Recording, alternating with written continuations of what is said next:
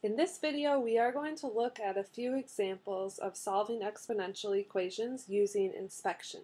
So later on, we will talk about how to solve exponential equations using logarithms, but first we just want to use some properties of exponents in order to solve these.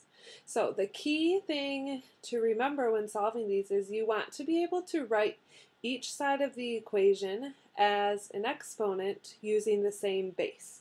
Um, so in this case, on the right side, we have just 12 to the z. Um, so that we don't really need to change, or you could, but the question to ask is, can you write 144 as 12 to some power? And in this case, we can. 144 is the same as 12 squared. And so we get 12 to the second equals 12 to the z. And what happens is when the bases are the same, they can cancel each other out. And we are just left with the exponents, and so z will equal 2. Now, let's look at a slightly different example here. So this is an example with a fraction, and our goal is to write, again, both of these bases, so 1 fourth and 64 um, as an expression with the same base. So you can play around with it a little bit if you want to, um, but I guess some of this will take a little bit of practice to get used to. One thing to remember is the way that you end up with a fraction um, as the base is with a negative power. So 1 fourth is the same as 4 to the negative first power. And then 64 is the same as 4 to the third power. So in this case, again, our bases will cancel. What I like to do before canceling my base is combine the exponents here at the top. So remember when you have a power raised to a power, you'll multiply. So in this case, I'm multiplying negative 1 times 2x, which is just negative 2x.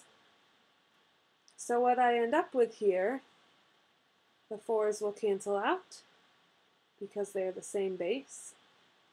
And I get negative 2x equals 3 if I solve for x, x equals negative 1.5. Now, just one more example to look at. Um, 27 to the 2x plus 4 equals 9 to the 4x. So again, try to think of a number that you could use as the base and come up with 27 and 9. So pause if you need to and play around with it. Um, in this case, 27 can be thought of as 3 to the third. And then I don't change that 2x plus 4 at all. And 9 can be thought of as 3 squared. So just like on the previous, I want to combine these exponents.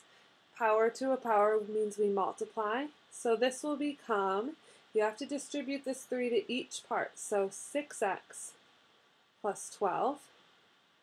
And then on the right, we just get 8x. Now, since the bases are the same, we can cancel.